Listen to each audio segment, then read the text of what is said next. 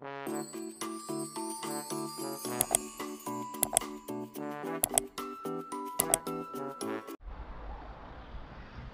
my God. Kala ko naka-record. Hindi pala. So ayun nga guys, ako po ay bumaba. Pupunta po tayo ng Central. Makapag-limit po sa bangko at magbayad po ng obligasyon. Sa mga hindi nakakaalam at hindi nakakaintindi, kaming mga OFW ay hindi po milyonarya. At hindi po kami mayaman sa anuman. Kami po ay may utang din na dapat pong bayaran. Kaya ngayon, punta tayo at magpadala. At ah, makapag-limit ng pera dahil ako ay ah, kailangan na magbayad sa bahay namin. O yon, bahay ho namin ay hinuhulugan. At least, dumating ang araw, magiging amin na yung bahay na yon. Di po ba? Yun lang naman ang tanging ah, magiging yaman ko pag ako ay nag-for good na po ng Pilipinas. At least kahit papano, yung pinagpaguran, pinaghirapan, dugot pawis. Meron akong ah, nabili man lang sa aking pinagpaguran.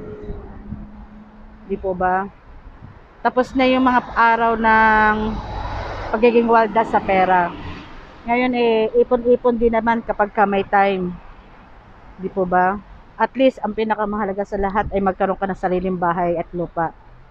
Ito ay hindi mang cash at ito ay hulugan lang. At least darating ang araw, mawala ka man sa mundo.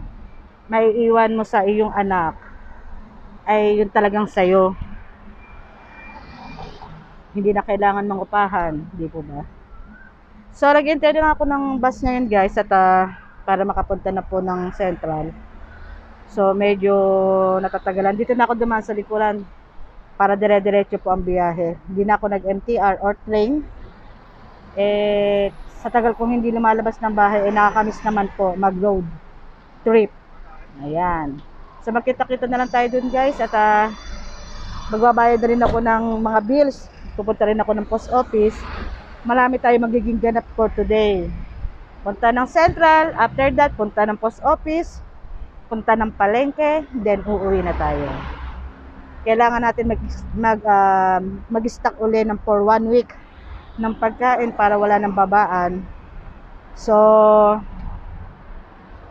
ayun, dahil nga po sa nangyayari, da, nangyayari ngayon na sitwasyon, alam nyo na kung ano yon hindi ko nababanggitin yan, eh, kailangan natin mag-impok ng pagkain man lang kahit sa loob ng bahay pang isang linggo. Hindi man pwede naman pang matagalan eh. Ako, ako yung tao na ayoko tumatagal masyado yung pagkain sa loob ng rep. Iba na yung kinakain mo ay fresh kahit papano. So guys, kita-kits na lang tayo mamaya, ha? Ayan guys, nakasakay na tayo ng ng bus. Ano? So, nagbus na lang ako para naman na actually guys, isa sa pinakahilig ko, yung totoo lang, mag road trip. Syempre, road trip, nakasakay ka, di ba? Mas ah, para sa akin, mas relaxing yung nakaupo ka sa loob ng bus, loob ng taxi, loob ng sasakyan. Para sa akin, nakaka-relax po yun. Nakikita mo yung mga paligid mo. Di ba? Ako yung tao na sa simpleng bagay eh okay na ako. Hindi ko na kailangan ng ng kung ano-ano. Road trip lang sa akin is okay na. Minsan nga kulang na lang guys eh. Sa sobrang init ko. Buhat sa bahay namin, papuntang airport, balikan. Basta't nakapag road trip lang. Kasi gusto ko minsan nakakakita ako ng mga bundok, ng mga dagat. Eh, ang Hong Kong pa naman mabundok at madagat. Diba? Eh, yun lang eh, kasiyahan ko na. Kaya hindi ako nag-MTR o train. Sa ilalim ng lupa kasi yun. eh. Wala kang makikita. So, feel kong mag-road trip ngayon. Kaya, bas tayo. So, maya-maya lang guys, ah, pababa na ako. Mabilisan lang yun. Bibili lang ako doon ng ah, may lang ako doon papadala ng pera Then, punta na tayo ng post office. Sunod, post office na. Kailangan ko kasi makabalik ng bahay bago o kahit mag ah, magpaspa siya ng pananghalian. Well, busog naman yung alaga ko bago ko iniwanan. Kaya, samahan niyo ako. So, ayun nga guys, ah, nandito na ako sa Central. So, isang mabilisang ah, punta rito. And then, ah, shout out nga pala kay Don Keng Koy at kay Mami Kengs. Ay, uh, sinashout out ko si Mami Kengs kasi alam ko nakarating na dito siya, nakarating na siya dito sa Hong Kong. So, Mami Kengs, namimiss mo ba ang sentral ng Hong Kong? Di ba? Alam ko, hindi ko alam kung saan kang lugar nakapagtrabaho dito sa Hong Kong, pero alam ko na nakarating ka dito sa Central. Di ba? So, Mami Kengs, ayan oh. Akit tayo sa taas. Nasa likuran ako eh. So, shout out sa iyo, Mama Kengs ha. Sayang yung mga panahon na nandito ka. Baka nandito na ako sa Hong Kong, hindi tayo nagkakilala-kilala. Nila pork chops, shout out sa inyo. At lutong kunyang. So, siguro hindi ko na masyado makukuhanan kung paano ako makapagpapadala. And then, ah, pagka nakasakay na ako papunta ng post office, babalik ako. So, okay na tayo dito sa isa.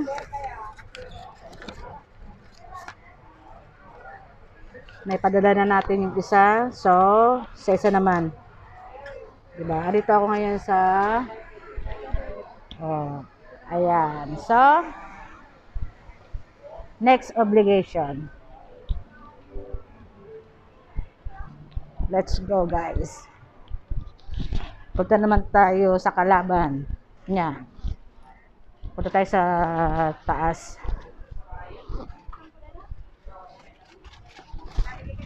So, balikan ko kayo ulit. Ayan, diyan naman tayo pupunta ngayon.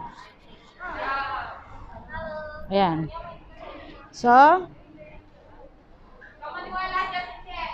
ito na yung para sa bahay namin na dapat ah, bayaran. Hello? Hello, kuya.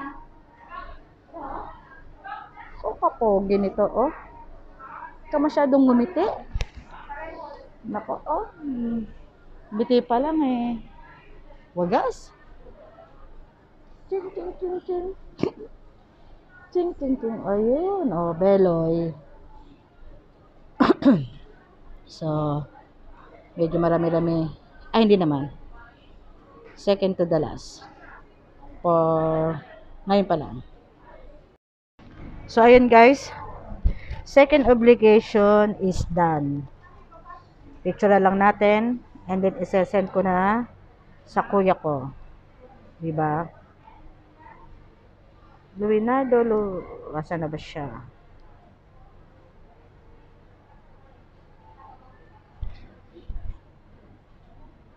Ayan.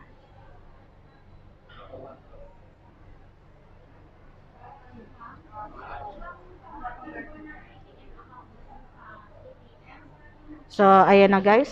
Tapos na yung second na obligate. Obligasyon ko.